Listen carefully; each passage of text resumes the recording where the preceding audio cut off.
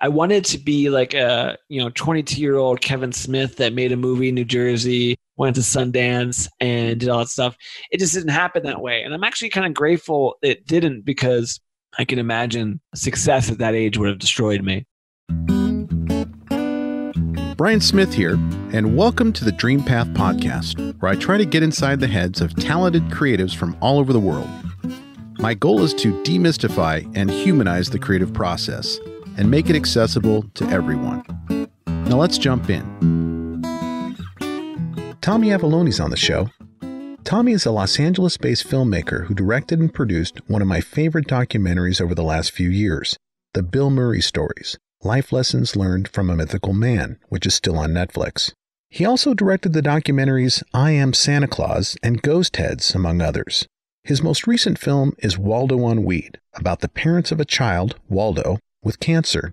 After Waldo becomes violently ill as a result of chemotherapy, his parents decide to give him CBD oil, which is illegal where they live in Philadelphia.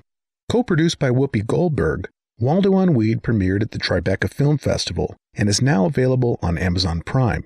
It can also be rented or purchased on iTunes and other streaming services.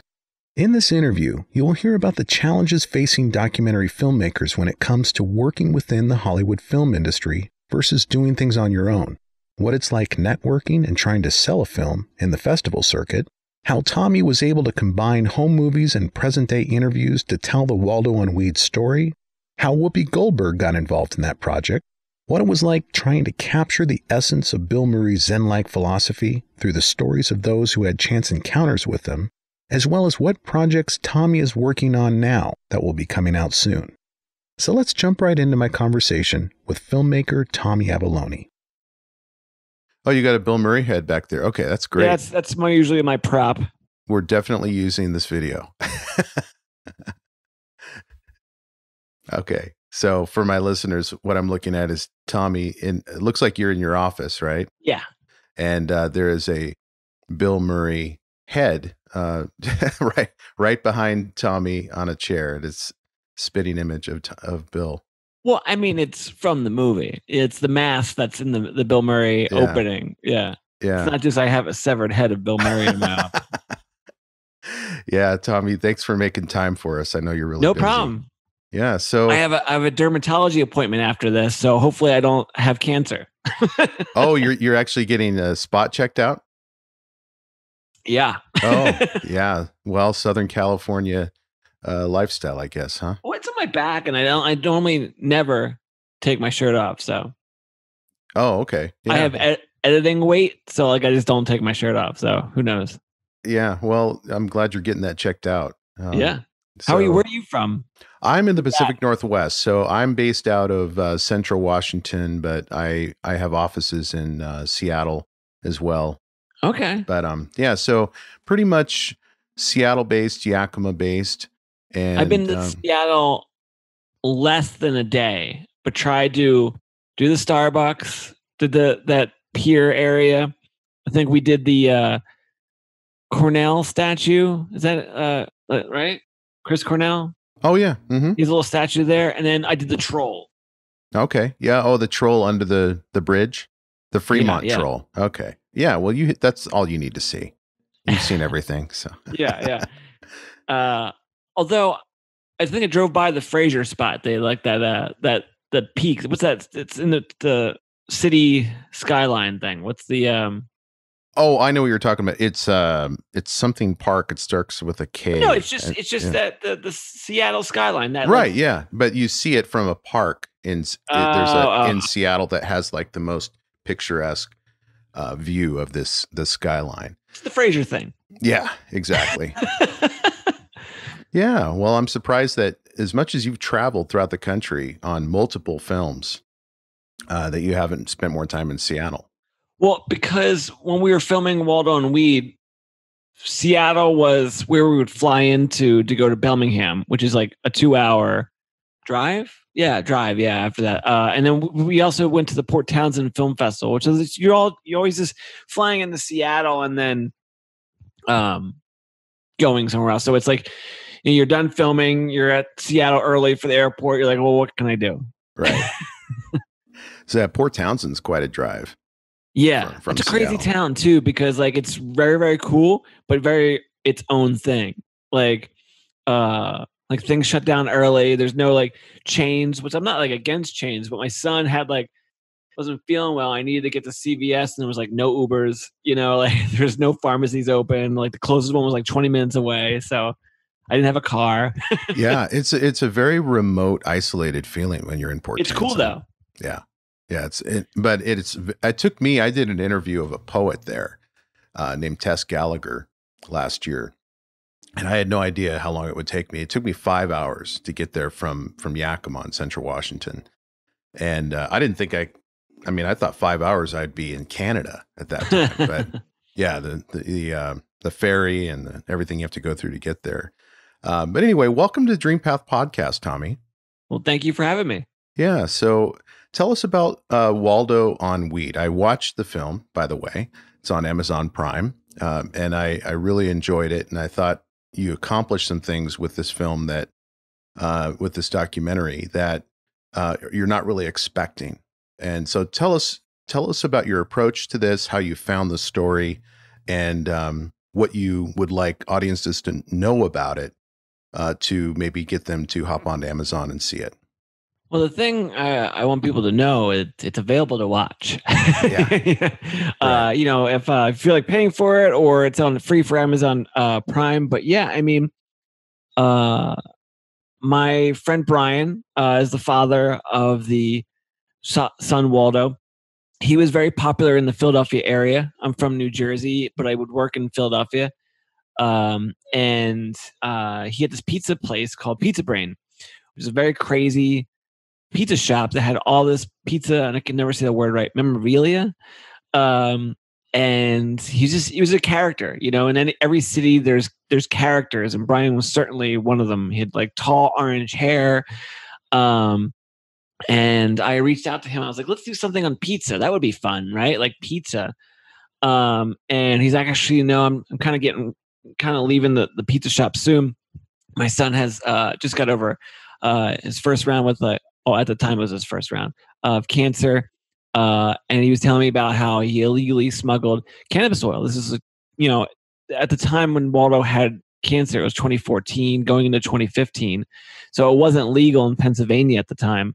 Uh, and he was telling me all about the story and how he filmed it. And he's not sure if we'll ever do anything with the footage, but he has it. And we kind of just kept in touch. And uh, one thing led to another. And we kind of took that footage, turned it into a documentary. Uh, we filmed interviews uh, of them throughout the years.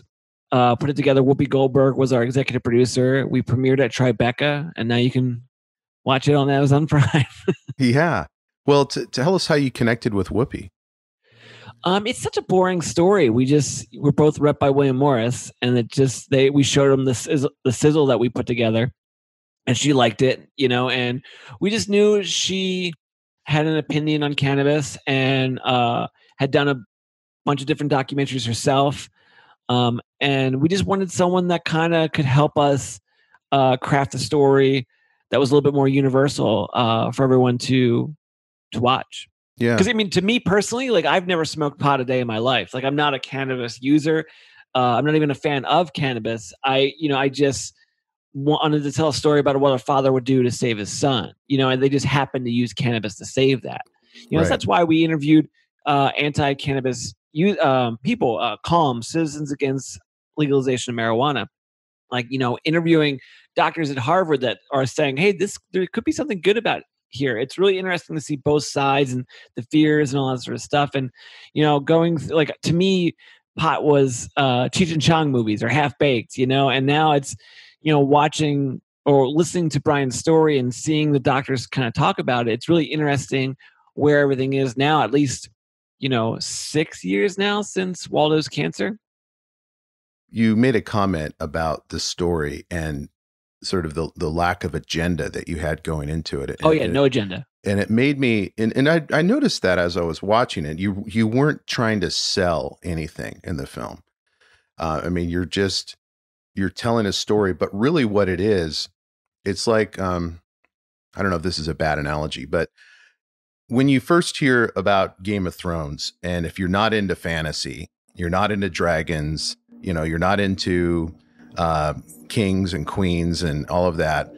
Um, sorry, there's there's a lawnmower outside of my house. Oh, I can't hear it. Norm- normally, I I do these um, in the afternoon. Sorry. Um, but if you if you don't like that type of approach, you can still be brought into Game of Thrones because of the story.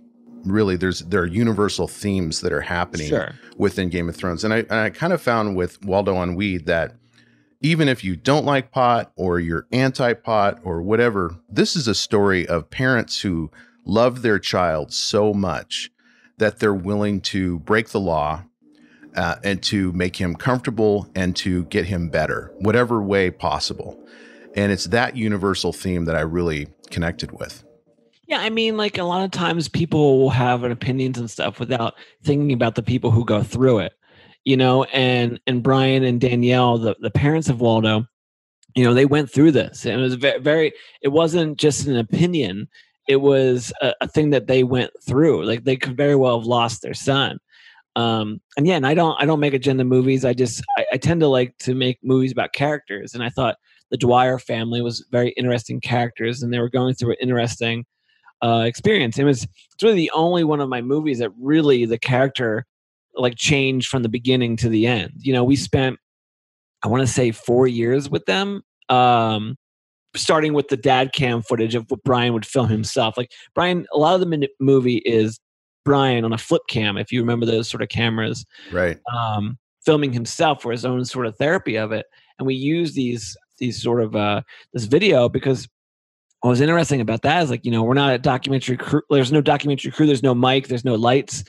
You know, it's just kind of like a father with his own thoughts, and there's no real performance there, and which I r- really liked about that sort of part. Uh, but yeah, I mean, this is, I think, really the only one of like you know my movies tend to have some sort of comedic uh, angle to it, and I I think that what's great about this one, and even though it's a pretty intense subject matter, Waldo's hilarious. You know, Brian and Danielle are funny people. Uh, Brian, I mean, Waldo's uncles, Mike and Larry, um, they're very humorous. Look, we get laughs in a cancer movie, so that's very uh, exciting to me because sometimes those sort of movies, you're like, oh, I don't want to watch that. That seems really heavy. A lot's going on. I don't want to watch. I don't want to be dragged down. But it's a really good story about hope and and family, you know. And I think that's uh, kind of important nowadays.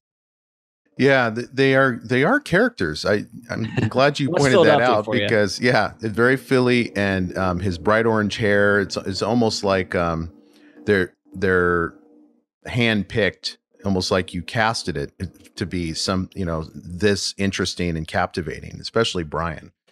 Yeah, I mean, well, that's how. I mean, I just thought Brian was an interesting character, and I went to him for pizza. It just so happened that he had this like crazy life experience that was happening. Yeah. So tell us about the the found footage experience as opposed to because I, I look at Waldo on Weed as kind of a, a found footage Yeah, um, endeavor where you're taking all this footage and trying to organize it, but also figuring out how to incorporate your own footage and the you know how to fill in the gaps. What Mhm. what was that process like? it's very, very tedious. I mean, you're just watching home videos. You know, I mean, like you know, you you film a documentary and you go, well, these are story points or these are questions I asked or there's a reason why we're filming this stuff. And sometimes there was absolutely no reason Brian was filming at all. You know, like so you're just kind of going through a lot of times where you know he's just uh just doing whatever. So it's a lot of I mean, think of like any home videos you might have, you know, it's like, and then how do you create a narrative out of that? You know, so it, it was, Brian was very helpful. You know, he'd be like, oh, you know, I was going through this and like this month of this year. And then the footage was, you know, organized quite well where it was kind of like by the month, by the year. So that was helpful. But yeah, I mean, there's a lot of personal, and it's so weird too. Like 'cause Brian would call me a couple times, and I was like, I can't, I can't talk to you right now. I uh, I spent four four hours of listening to you today. I can't, I can't have any more. and it was a really weird experience because like he he wouldn't be there for those uh, those conversations uh, physically. It was just the past Brian, you know, and it was just like I just enough Brian did it, you know, and he he understood. Yeah. Well, I I'm really excited to see where this goes for you because um I you know you you hit uh was it no it was Tribeca that you got into last year with uh, Waldo on Weed. Uh, it was 2019. Yeah. Okay. Yeah. So tell us about the film festival circuit and the the hustle of getting your film seen by film festival folks and and submitted and hopefully part of a festival so that it can be um, you know seen by more audiences and hopefully picked up for distribution I mean, I love the festivals. You feel like a like a star for like a like a week, week and a half. You know, there's these fun parties, these fun get-togethers, free food. Uh, you know, the screenings, the press. Um, I enjoy it. You know, Tribeca is a little different. I've been to Tribeca twice. Um, and you know, New York is already a buzz, so it, sometimes it gets lost in that where it's like, but like with like a South by Southwest or Hot Docs, you know, you're going to Austin, you're going to Toronto, and the the places have turned around for this festival. So you're you're constantly walking around with people that have badges on. You know, in New York, you just you just blend in with with everything. You know, there's everyone's already there. You know, right, right. Kind of like Seattle Seattle International Film Festival is the same way. There's just it's it's kind of spread out. It's in the city as opposed to like Sundance, which is like everybody you see on the street is wearing their tags and yeah you know. i mean i've never been to sundance yet uh, but you know with bill murray you know we premiered at south by southwest. Our international premiere was at uh, hot docs. Uh, we went to bfi in london and they're all just great experiences of you know just having the movies play and getting to getting together to meet like other filmmakers you know that that's i love the idea of like kind of like hanging out with your class. Mm-hmm you know, uh, especially last year at Tribeca, well, 2019 at Tribeca, I really like tried to like look around the, the, to other document, you know, documentary movies or documentary directors that, you know, I was like, oh, I, I, you know, I, I like your style. I'm, you know, let's, let's, let's hang out, you know, and like, and I, I just kind of dig that stuff because I have these like fantasies of like, you know, the Tarantinos and Rodriguez's like hanging, hanging out together or, you know, even like uh, Spielberg, hanging out with Lucas, and like that that whole like whoever's cl- class that you're in. You know, I, I like that idea, and I'm not saying I'm at that level, but like on this like small little circuit of festivals, you can kind of like play around or hang out with people who are around about your uh, area. You know? Yeah. And do you do you find that in those festivals that a lot of business gets done that you that's where the sales are made and the distribution deals are made? No, I mean they're talked about, but yeah. it's. I mean, to my experience, it's never.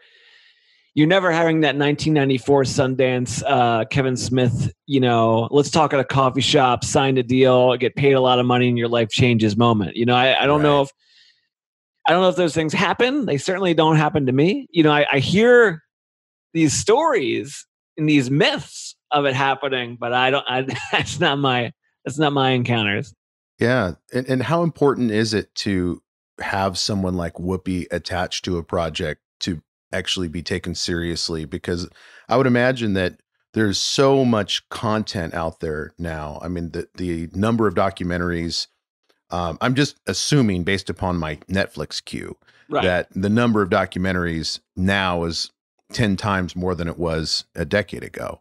Well, sure, because um, there's a way to watch them. You mean like how many times have you actually watched a documentary in the theater? You know, I mean, I saw Super Size Me in the theater. I saw, um, you know, uh, Fahrenheit uh, 9/11. You know, I seen that one in the theater. I even saw the Conan O'Brien documentary in the theater. But that's, I mean, that that was really about it back then. You know, and now like you can just documentaries are made kind of for that streaming. I think that's why obviously there's yeah the uprise. But like, you know, Whoopi's great and and having people like that. I mean, I try to surround myself with big and good executive producers. You know, Morgan Spurlock, uh, executive produced I Am Santa Claus. Glenn Zipper, uh, executive produced Bill Murray Stories. Uh, Whoopi uh, was Waldo on Weed. You know, like I don't know if it's my own complex or or something that you need to do, but like I always just want to show to someone that I'm just not some punk kid from New Jersey, you know, trying to make a movie. I, I, you know I have someone vouching for me. So I'm not I'm not sure if it's um, necessary or just something that uh, I need for myself. yeah. Well, it's smart. I mean, yeah. it, it's not going to hurt to have a big name like Spurlock yeah. or, or, Goldberg um, attached to uh, to a project. So tell us, you, you mentioned Jersey, and and I read uh, obviously there's a lot online about your your run for mayor. Uh, can, can you tell us? yeah, there's quite a bit. So can you tell us how that came about? Why did you decide to run for mayor at the age of was it 19 or 20? Uh, I, I was 20 when I ran, but I was 21 when the election happened. Okay. Uh, so, um, but um, what was going on in your life that made you decide? You know what? I'm going to run for office. I'm just a huge Andy Kaufman fan, you know, and uh, I just love I love a bit, you know, and that okay. was that's really what it was. You know, like I didn't have any. I, I'm not a political person by any means. You know, I I think it's it's funny uh to have run I, I i was student council president of my high school and i thought oh i could just do the same thing you know like i had i had uh people my friends dress up like in suits and they're my bodyguards they're uh tommy's angels you know um we would do these press conferences and give out milk and cookie to the press uh I was on CNN, you know, I was like, it was like all these like news coverage, like, because at the time Arnold Schwarzenegger was running, right? And it was like, this this is happening in California, but in local news, a 20 year old from you know, and it's just a way to talk about the movies I was doing. You know, it was very, uh, just it was just like um, I had a rap song. You would think it was brilliant, actually. Yeah, it I was mean, just it was just funny, man. I was actually at the time I was going to try to make a documentary. I have like 10 to 12, possibly 14 hours, which is not much, uh, of just like what I was doing to run. Uh, and I was like, oh, I could make a documentary out of this. And I just never did anything with it because it was just, this wasn't good. Uh, but like, I just, I just thought it was would be funny to do, you know, and I just, I thought it, I just thought it would be funny. Have you ever, how far into a project have you gone uh, and decided or I don't even know if this has ever happened, but and decided that it just isn't going to work. You know, you you're maybe 40 hours into it, 80 hours of footage, and you're like, oh, this is a great idea at the time. But have you ever had to kill your baby like that? Well, don't let being a father, I don't like to call any of my projects a baby because I have enough yeah. respect for my children. right. Uh, but um, I don't. I don't know. I mean, there's. I've been in the last like year and a half, I've been like developing a lot of stuff, and there's certain things that I just kind of like fall out of interest in. You know, um, I'm a pack rat. You know, so like I don't ever feel like something would if I put time into it and I have footage of it or I have something with it. Um, I think I'd still find a way to do something with it. You know, even that mayor footage, I'll do something with it eventually. I just don't know what it is. Right. You know? Like uh I just yeah, I don't know. Like I'm constantly collecting puzzle pieces and I just don't currently know what puzzle I'd be using that puzzle piece for. Um uh, we were thinking about trying to do this like documentary on Hollywood and I I filmed an interview with Alice Cooper and we filmed a couple things and I don't know, I just kind of currently have no interest in continuing it. But I'm sure I'll do something with that footage eventually. You know, I'm sure that that interest will reignite at one point. You know, so like mm-hmm. it's never a, a, a squashed idea. I just think it's like I'll come back to it. Oh, so you're not killing the project; you're just tabling it, and maybe there's another opportunity down the road where it'll fit into something that you're focusing on. Yeah, I think that's the way I like to look at it. Yeah, yeah, yeah. Well, um, yeah, Elizabeth Gilbert talks. I don't know if you've ever read Eat, Pray, Love or any of her books. I haven't, but I've listened to interviews with um, author. I've watched parts of the movie. Uh, so, so Elizabeth Gilbert talks about her process of writing and stories and stories that she's inspired to tell, and then also the process of losing that inspiration and losing interest yeah. in it. And she does the same thing. I mean, she just catalogs ideas and just kind of keeps them, and also has this concept of you know what? Maybe I'm not the one who was meant to tell this story. Maybe yeah. it's someone else, and maybe they can kind of, in a generous way, let them pick up where you know she left off or something. Yeah, I um, mean, there's recently there's been things that I've been like playing around with that were something that I been wanting to do like 10 years ago you know so it, it's always it's like oh that would make sense now you know or oh i could i could tell that better now you know So, what does a day in the life of Tommy Avallone look like in terms of um, your, you know, you're you're looking for ideas, you're nurturing and cultivating ideas you already have, um, you're collaborating, I imagine, with a lot of folks. Is there is there a typical day in the life of Tommy Avallone?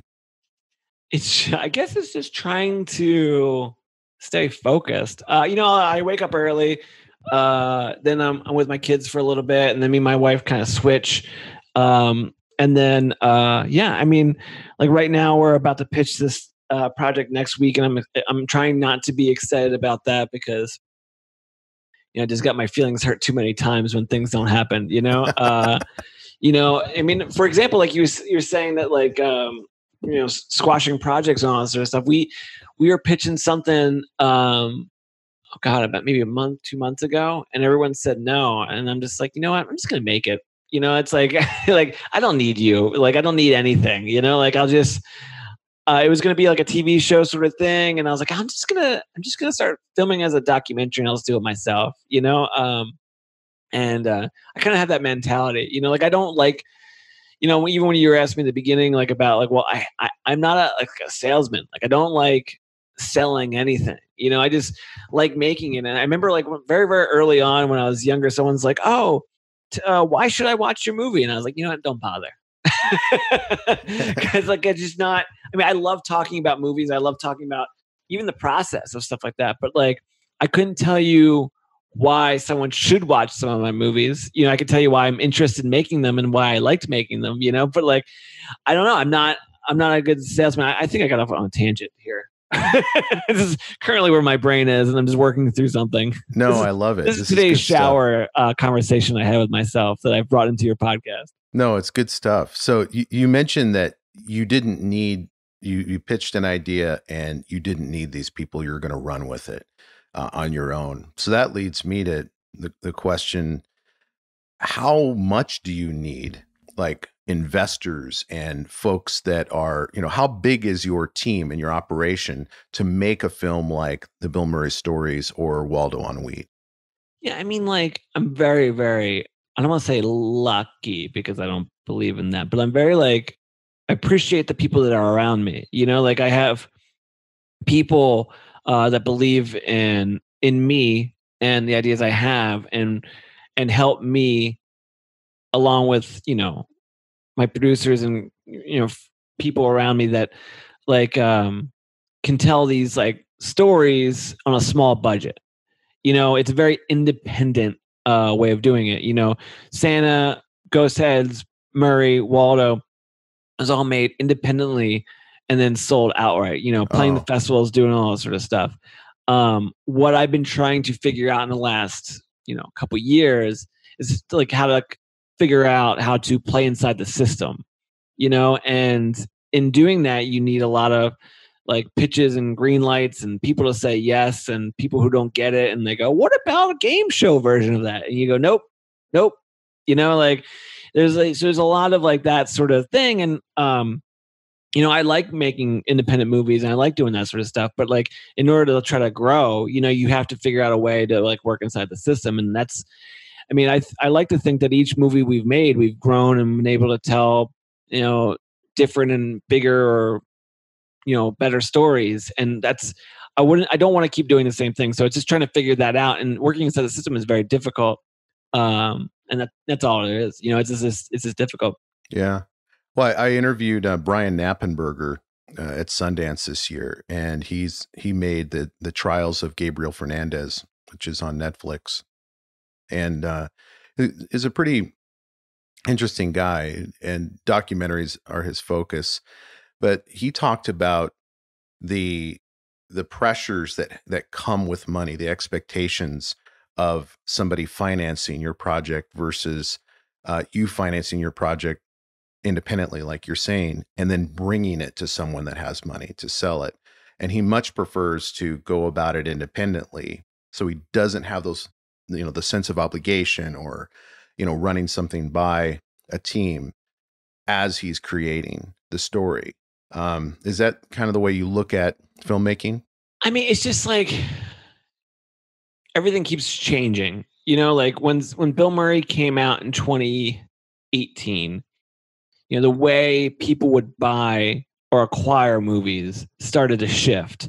You know, like people didn't want to buy finished movies. They wanted to like be on the well, like you know, quote unquote ground floor.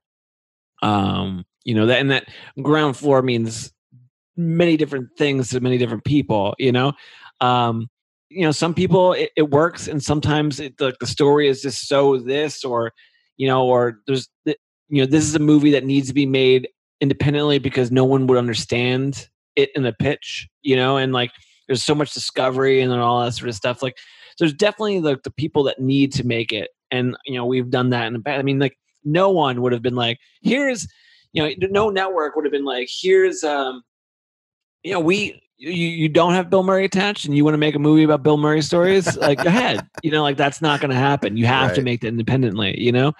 Um, so that, you know, this I'm just, you know, when you're speaking about that person, like he has that experience of working inside the system. And I just, I'm working on that you know like uh because it's just it's just interesting to me to see what that experience would be like so how hard did you chase bill murray in terms of getting him to sign off on that project uh, and be involved in some way and and when did you just give up well i didn't chase him never no you never chased him well i mean you called his 800 number and not chase yeah well i mean well pursue maybe chase is a is a strong word but you know you emailed me to be on the podcast. Did you chase me? No, no, that's true.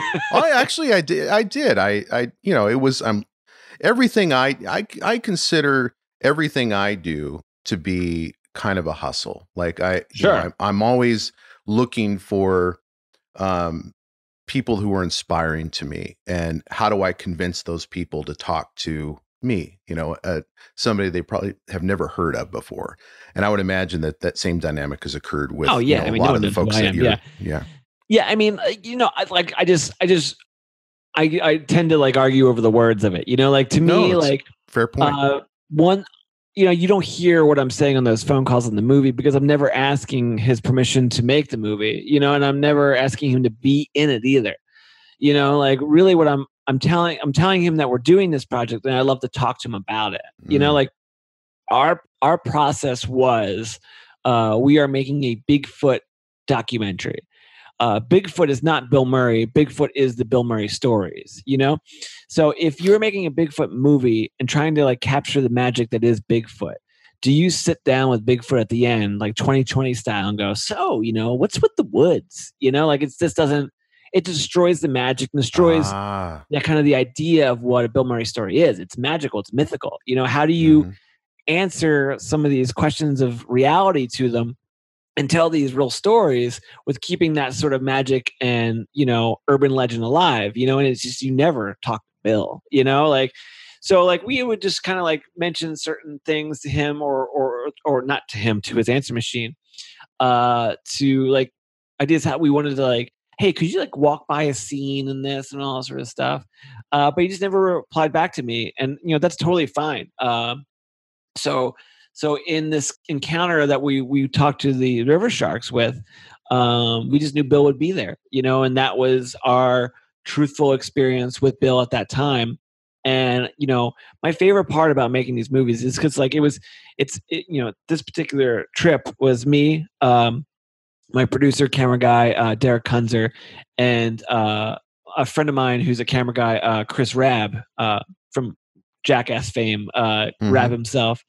And my favorite part is always the ride home after these things, you know, like talking about what we just grabbed and, you know, how would you use this structurally and all that sort of stuff. And I was like, I think I could frame the whole movie about this encounter. You know, like if I take that picture, because I was like, my thought is, if you show that picture of me and Bill, then you rip that band-aid off. This is not a chase. You know, this is not a um mm.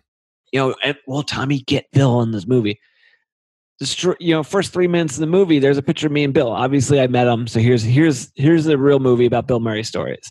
You know uh, it's not my date with drew. It's not you know uh, me like searching out this person to have an experience with them. It's talking about these experiences.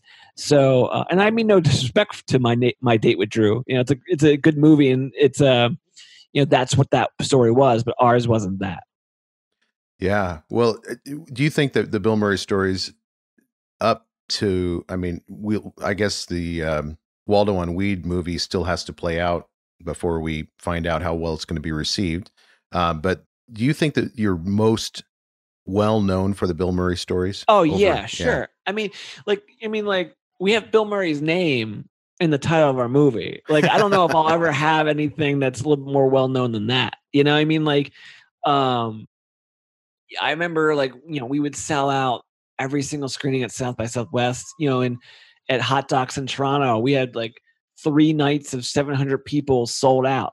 Like that's crazy. You know, like that doesn't happen, and we wouldn't pay for any publicity. We wouldn't do like any you know, we weren't even handing out flyers. You know, it was just in the program Bill Murray stories with a B. You know, so you're like the the beginning parts of the festival programming. You know, uh-huh. opposed to Waldo on weed. You know, like on the, very end. You know, yeah. um, like I just remember sitting there and going, "It will never be." I mean, I shouldn't say. I always try to correct myself when I say this, but my my th- my thought was, it will never be this easy again to get people to see the movie, and I like to think people heard it was good and that was another reason for seeing it but you know it's a movie about something that everyone loves. It's you know it's the beginning of the alphabet as far as the program goes. So it was it was i un- very much understand that that movie uh is so much more recognizable. I mean it's on net it's on netflix. It was on people's airplane. Like i mean like you're flying and you can go hey uh, bill murray stories you know uh, less like 80 minute movie? Sure you know like it it was it's definitely uh i mean i am santa claus Waldo on Weed some people know Ghost bill Murray's story yeah. as i mentioned people go i think i've seen that or i've seen it on netflix like uh, the icon you know you know so what are the legal challenges to taking clips of movies you know bill murray movies and, and interview clips uh, that you know you, you have this great collection of Bill Murray footage. But mm-hmm. legally, how do you get to the point where you can actually put it in the film, distribute it, put it on Netflix? I mean, we're not abusing any of the footage. It's called uh, fair use, you know. So it's all fair use, huh? Yeah, I mean, yeah. majority of it, you know, like uh, I mean, in no way are we just putting it on to put it on. It's like we're just proving a, a point in our like, you know, uh, our narrative. So yeah, I mean, I'm really I've gotten pretty good at like at how to edit with fair use, you know, and you know a lot of the I mean you know when we talk to journalists and they they mention like coffee and cigarettes or Zombieland, um, or even um, God, it's been a while. Um, Razor's Edge. Um, you know, these are important notes in Bill Murray's career where he kind of talks about or does these sort of Bill Murray stories in in the in the movies you know so you could you can point to what he does in real life to um to that. So yeah i mean it was all it's all fair use. I mean it's a boring answer but yeah is this we we, we can. Yeah I, I i bill murray's stories for me was really special and you saw that i did a a duo cast or a short little podcast on it yeah. with my producer and editor. But what i really appreciated about the bill murray stories is it takes you I mean, you sort of um, you you, you watch it with the understanding that it's going to be a chase and you quickly realize that it's not a chase it's more of an exploration of the philosophy of bill murray. And at least that's my takeaway from the film. Yeah i mean we try to make these like sort of trojan horse movies. You know you walk in and go hey isn't christmas and santa claus great? Here here's something about you know identity and community. You know it's like hey bill murray is cool right? Let's talk about living in the moment and being present. You know like um, I think there's fun little scenarios to do with those sort of situations and and majority of the movies that i make people go i really wasn't expecting that you know so and i take that as a compliment you know like i i like you know bill murray stories like i love that movie. I hope that's okay to say about your own stuff but like i just i think there was so many ways for us to go down a different path that wouldn't end in the way we made that movie you know? I mean it's just uh I was reluctant to put myself in there. You know, like uh, a lot of I watched so many documentaries on purpose that were bad that people put themselves in to not to not do with that, not to do that. You know, because like you know, Morgan Spurlock does it fantastic. Michael Moore does it great, you know, but there's, I could tell you off camera and off record of a whole list of people who right. don't, you know, and that was, you know, Santa Claus and Waldo. I'm not in it. Um, you know, because that's not the kind of movies I want to I want to make. But like we just felt like that was like the the only way to do a through line that made sense to kind of connect these. So the hardest thing with that movie was trying to make it not a bunch of just like vignettes. So you're not just watching webisodes on YouTube or something like that, you know? Yeah. Yeah, because it's way more than that. It's uh there there's a gestalt to the film that is very zen and and almost Buddhist because I think his his Buddhism and or his approach to life really comes through in the interviews with all of the you know the collateral interviews that you got. Um, but also just these impromptu brushes with um, with folks you know randomly off the street and at parties and stuff.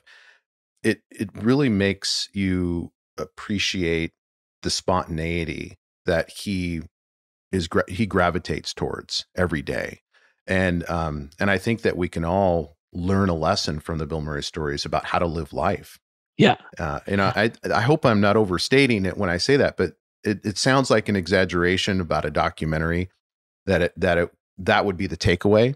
But for me, that was the takeaway. Yeah, you know, like uh, when we play at South by, um, this nice lady came out to us afterwards and was like, "I, you know, I um, I just saw your movie, uh, and I had like a two-hour gap before I was going to visit my friends, and I would have just normally went to my hotel and took a nap, but like, you know, I was like, well, what would Bill do? So like I just kind of did this and did that and I just had a great time, you know? So it's like it's really like, you know, you can't help but see someone like Bill Murray who for the most part uh has been around your whole life you mm-hmm. know and you see him in these movies oh yeah he's a ghostbuster or he's a don't hassle the local you know like there's all these like things that you but like when you see him kind of like just like take life the way he does. I mean, it's just it's one of those things where like I would like to do that, you know. And you know, some people have the like the the answer. Well, if I had that kind of money, I could just like no, no. no. He was doing it way before he was uh, rich or way before he was famous. Right. You know, B- Bill's has always kind of been that way. You know, I mean, I think it's improved as he's learned more. I mean, he studied uh, G.I. Gurdjieff, uh, you know, or Del Close in Second City. These are all like people that I think helped kind of build that live in the moment, wake people up, or wake yourself up. Um, and it's yeah, it's all about staying awake. Ah, oh, that's a great way to put it. Yeah, wake yourself up, wake other people up, and what a what a nice way to approach life. Well, when he when Razor's Edge, like Razor's Edge was what he wanted to do, you know, uh, and he filmed that then filmed Ghostbusters. Ghostbusters came out, huge hit. But then Razor's Edge came out and people weren't ready for him to be that Bill Murray. You know, that Bill Murray kind of came out later in life and people were ready for it, but they weren't ready for it in the 80s. And when that movie didn't do well, he was like, you know, forget it. I'm just, I, I'm done. And him and his family moved to France, and that's where he like he studied philosophy. And he Gurdjieff, this guy, if you look him up, uh, he would do these things. We were gonna put it in the movie, but just it just didn't work out. But he would like you know hit people with stuff and like try to wake them up and all that sort of stuff. And th- that kind of philosophy that his books uh, were all around that Second City sort of tribe. You know, how mm-hmm. Ramis knew about it, um, Belushi and all that sort of stuff. Um, but you know, everyone called Bill Murray that sort of like Gurdjieff, like the trickster god. Uh, and so that was like really in the back of his mind during I, at least that part of his life, or maybe a little even before. Uh, but he eventually came back and did movies again, obviously. But uh, I mean, it's just it's just that mindset, and combined with Del Close, Del Close is very much like that, taking taking improv off the stage and into real life. Have you ever explored the concept of charisma and tried to deconstruct what charisma is? Because I I look at Bill Murray as one of the most charismatic figures on film or television. Same thing with someone maybe like uh, with like Jack Black, or it's it's the type of person who, when they walk into a room, it's like everyone's eyes are drawn to yeah. this person. And why is that? Why is it is it the in the moment um, existence that they live and that they they adhere to, or what are what are your thoughts on charisma?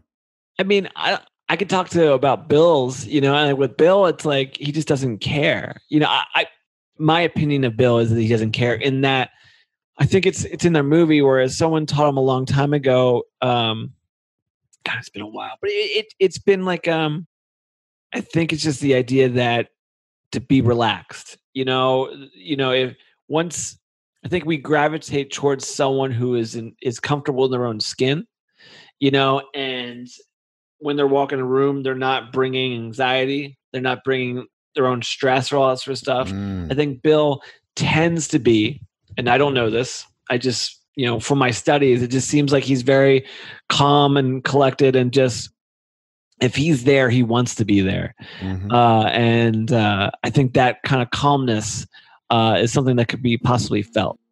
Right. He he's not coming in with expectations yeah. about what he wants from somebody, and he's in a very Del Close kind of way.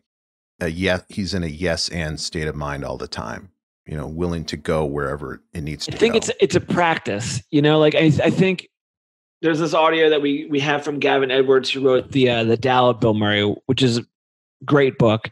Um, and he he in in the thing bill just talks about how he's like you know you, you, you talk about living in the moment it's like you can't always live in the moment you can't always be present you know it's it's it's something that you attempt and you try to be as much as you possibly can you know he's like he's like sometimes i'll be like he's like i just need to wake myself up i've been like asleep for like four days you know uh and i think that's the thing it's like it's just like you can like kind of catch yourself in moments where you you were like all right well let's let's get it together. Let's be here. You know, and it's I think it's a practice.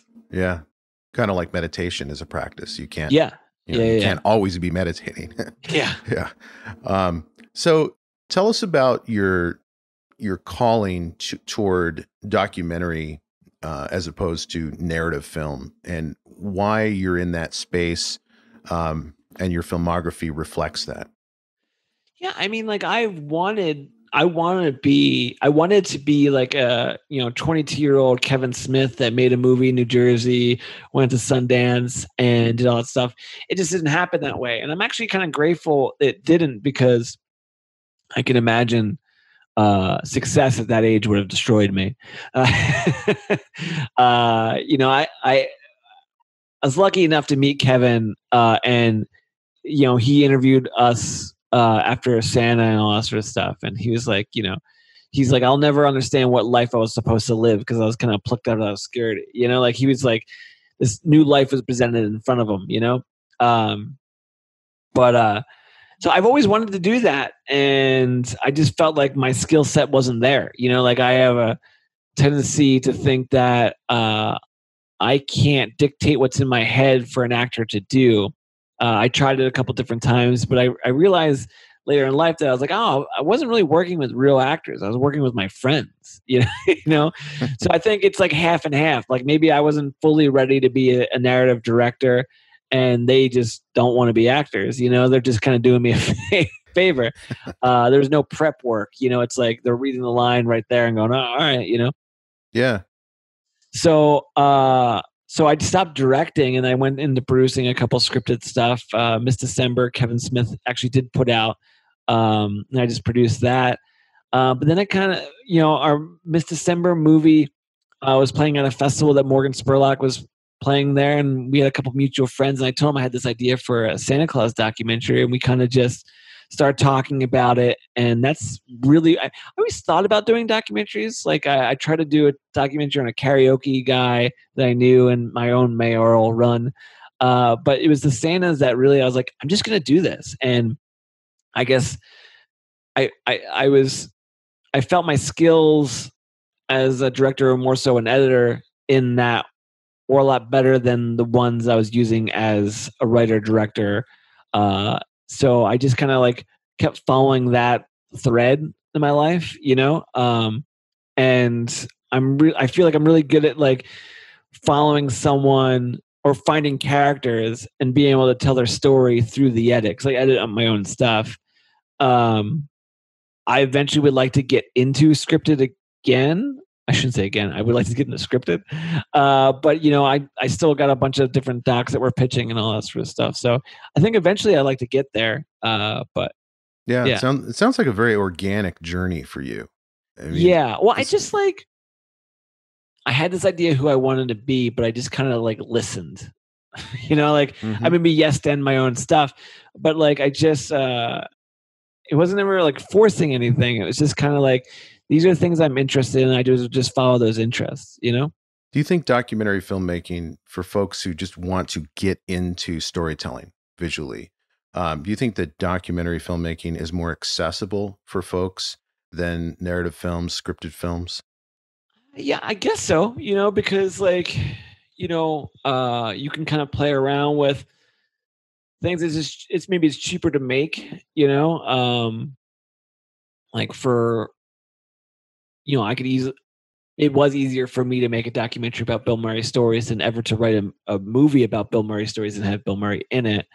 Um, but yeah, I mean, I guess because you know there's less crew and less money and all that stuff, it, it attracts a lot of people, or a lot of people feel like they could just make a documentary. But it, it is a lot of hard work. You know, it is. It really does take you know uh, someone that can tell a story to to do it um yeah i don't know i mean it it's it's i guess nowadays you can do anything with scripted or all stuff with like the technologies that's out there but um yeah i don't know i mean this is i don't have the real good answer i guess it's yeah. easier to get into documentaries but it's hard but it doesn't doesn't doesn't mean you're going to make a good one you know right well i would imagine that the the it, it's accessible from the standpoint that anybody can pick up a camera and start interviewing people or you know, finding footage, but that to have the endurance to go four years, you know, collecting footage and have probably, I would guess, hundreds and hundreds of hours of footage, and then have yeah. the and then have the acumen and the judgment to know what works and what doesn't and how to craft that narrative is probably way more challenging than a scripted film director who knows exactly what needs to be on on film and and how to cut it and that type of thing. Yeah, I mean, like I feel like, you know, as I mentioned, I want to get into scripted stuff. Like I feel like having edited and directed all these documentaries has made me become a better writer in that I just know a little bit more about characters. Before I used to just write funny lines, you know, and now like having followed like different Santas or different people who've had Bill Murray stories or, or just different people in general. Like I feel like I have a tendency to know a little bit more about characters, you know? Um yeah, yeah I mean that I, makes sense. But also too, like before I made a documentary, I you know, tried to like make I've been I've had a camera in my hands since I was 11 years old, you know, but I also worked in radio, you know, and uh, and I was a phone screener at a radio station. So it's like you're you're you're call, you're getting normal people who call in and trying to find something about them to make them interesting so the host of the show can have a conversation that people want to listen to.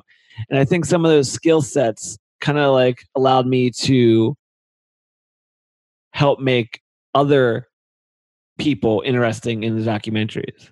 Yeah.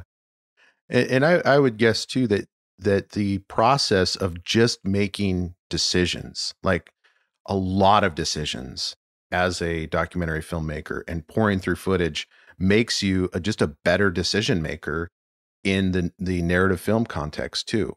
Yeah, I don't. You know, it's so funny. Like so many, like I'm. I worked with a couple people that say you just need to make a decision. Doesn't need to be right or wrong. You know, and like, and I think a lot of people when they first start working with me think I don't know what I'm doing because I don't agree to that. Like I don't. I mean, who knows? I may not know what I'm doing, but like, but like, but like, I just, I don't like, like, I like thinking about things. Like, I'm not like a fast decision maker. You know, sometimes like if I'm like really zoned in and like I know exactly what I want, but if someone actually has like, when someone has a question, I'm like, I don't know the answer. Like, I don't want to just say it because like there is that fear that you're like, I don't want to say the wrong thing. You know, like even with the documentary, like the hardest thing to me about pitching things is people go, "What is your vision?" And it's like I don't, I don't know, man. Like I don't know how to make a movie until I'm making it. You know, like, like for real. Like you know, I think I I I have a, a good way of collecting materials and collecting questions and answers and all that sort of stuff. But I do really feel that the movie presents itself while editing. You know, like it it tells you kind of really what it wants to be. You know, um, you know, an editor for a scripted movie, there's definitely ways to change it up. But like in a documentary, like there's so many different ways to go. You know, and Santa. I mean, there was five different movies about Santa Clauses while we were like making ours. You know, and ours is completely different than everyone else's. Um, it's just it's just so many different ways. I mean, there's another Bill Murray uh, stories documentary. You know, like like people will have different approaches for things, uh, and that's I don't know. Yeah, well, it sounds like they in in a documentary film context when you're getting somebody to buy into a project or a collaborate on a project, they just have to have that much more faith in you because they don't have the vision, they don't have the script. And so what they have is you and your filmography and they and your ethos within your crew about how you approach storytelling. Yeah. I just, you know, it's just like uh, I'm learning like the idea of like trying to like like the the take, you know, and like and trying to present as much as that up front as possible because I really like no one wants to hear oh, you know, just trust me. We'll figure it out as we go along. but that's really it, you know. And then you talk to any director, it's really you're just kind of you have an idea, but you're kind of I don't want to say lying, but you're just going like you're understanding like what do you need to know now so you trust me to understand that the process will work. Right. You know? Yeah, that makes sense. So tell us about This Is Gwar. I see that's that's a project you're working on currently, and Thomas Lennon isn't involved. Are you familiar with the band Gwar?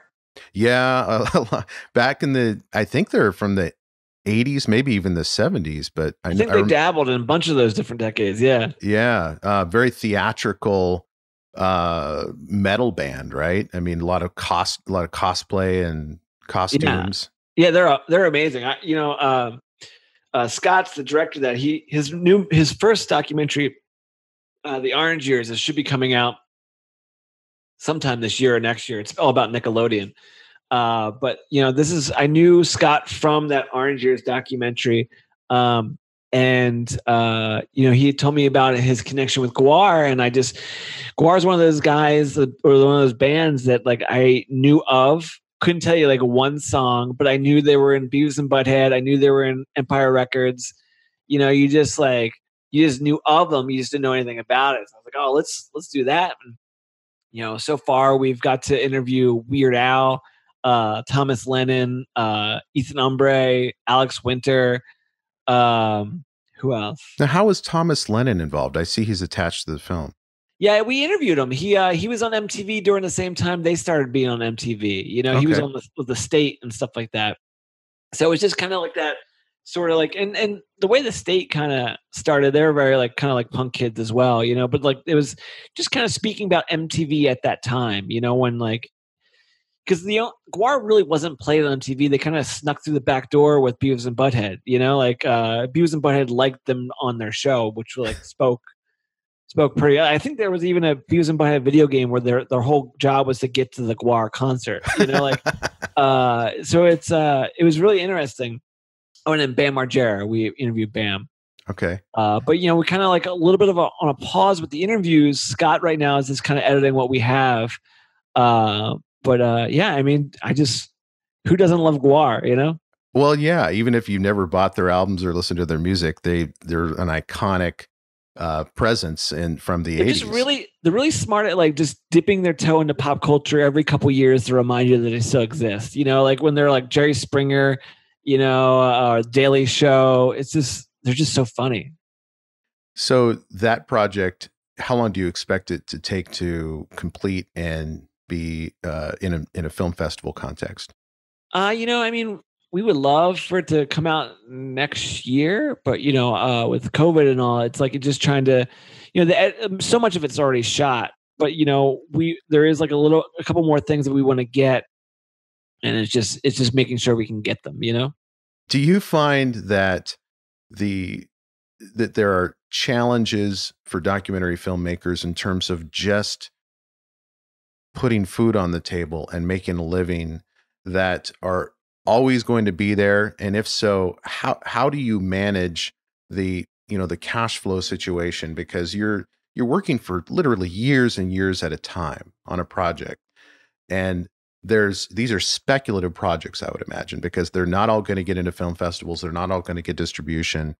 How do you go about providing for your family and just making sure that you're taken care of and treated fairly in business.